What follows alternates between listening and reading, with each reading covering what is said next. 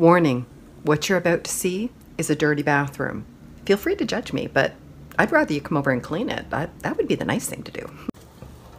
Hey, who are you? Where are you going? Why are you living in my bathroom? You look like you need some help. Here, latch onto that Q-tip. There you go. I think you belong outside. No, no, no, no, no. I don't want you touching me. Oh no, did you fall on the floor? Oh my god, I think I lost you.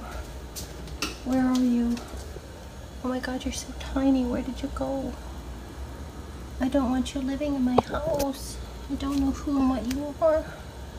Where did you go? Excuse me, bug. Are you a bug or are you dirt? You're dirt. Where'd the bug go? Oh no. Now I see why my mom didn't want me bringing bugs in the house.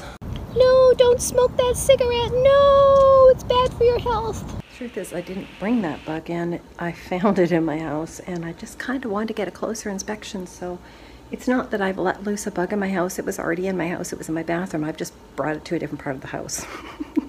so I'm still innocent, okay? It may look like I'm guilty, but I'm innocent. Was a bug there, right? Like I wasn't imagining it, right? You saw it too. Did you see it? I don't know where I dropped it. Win some, you lose some.